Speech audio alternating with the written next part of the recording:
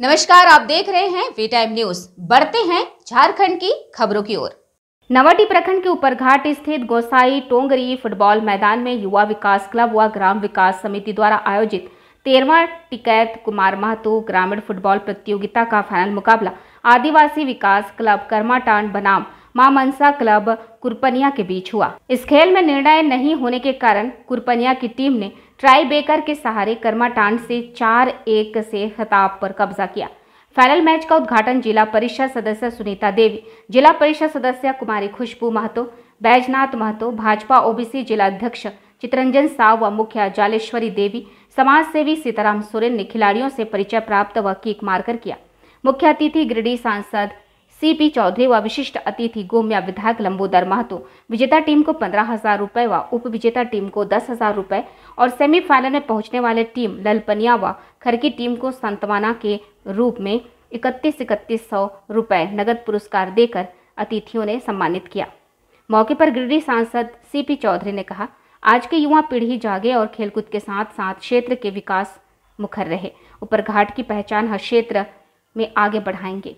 गोमिया विधायक डॉक्टर लंबोदर महतो ने कहा कि प्रतियोगिता आयोजित होने से खिलाड़ियों में छुपी प्रतिभा में निखार आता है।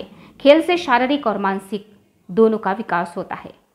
सभी जगह से आए हुए खिलाड़ीगण, जो हर वर्ष हर वर्ष इस मैदान में और इस ऊपर घाट के पावन धरती पर, जो सुदूरवर्ती क्षेत्र में युवाओं को, इस क्षेत्र के युवाओं को खेल के प्रति जो उत्साह बढ़ाने के लिए हमेशा आते हैं। उनको मैं तहे दिल से हार्दिक बधाई देता हूँ। आप लोगों के बीच में इस खेल के कार्यक्रम में कई वर्षों से जिस समय हम यहाँ पर सांसद नहीं थे, तब भी हम इस मैदान पर उपस्थित हुए हैं। और आप लोगों के बीच में यहाँ के युवाओं को प्रोत्साहित करने का हमेशा हम काम किया मैं पुनः, क्योंकि समय काफ़ी हुआ मैं पुनः आप सभी लोगों को खास करके आयोजन समिति को बधाई दे नेतृत्व में लगातार तेरह वर्षों से इतने सुंदर और सराहनीय टूर्नामेंट का आयोजन यहाँ पर आप लोग कराते आ रहे और उसी के क्रम में आज भी आप लोगों ने शानदार तरीके से इस टूर्नामेंट का बहुत ही सराहनीय तरीके से समापन इसका आज कराया। निश्चित रूप से आज इस खेल में विशेष करके जो ये टूर्नामेंट हो रहा है इसमें सारे ग्रामीण खेल प्रतिभाओं का समागम होता है।